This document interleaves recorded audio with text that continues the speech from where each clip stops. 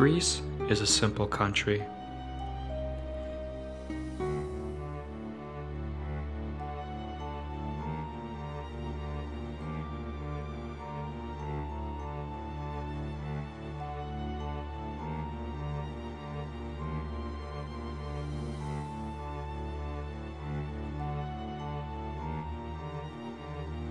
Ancient Greece played an important role in medical history.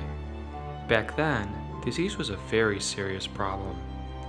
One out of three babies died before they were a year old. Half of all children died before they were 10.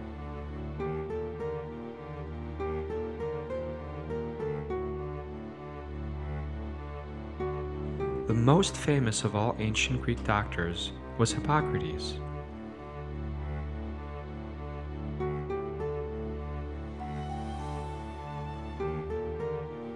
Hippocrates made such an impression on medical history that his name is still very much associated with medicine today. All newly qualified doctors take what is called the Hippocratic Oath, and some see Hippocrates as the father of modern medicine, even though he did most of his work some 430 years before the birth of Christ.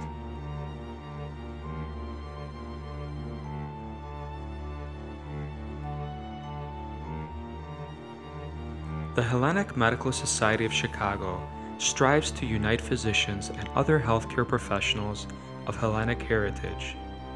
Our goal is to promote the art and science of medicine, to educate our communities, to promote and support medical research, and to enrich the quality of life of all individuals in the greater Chicago area.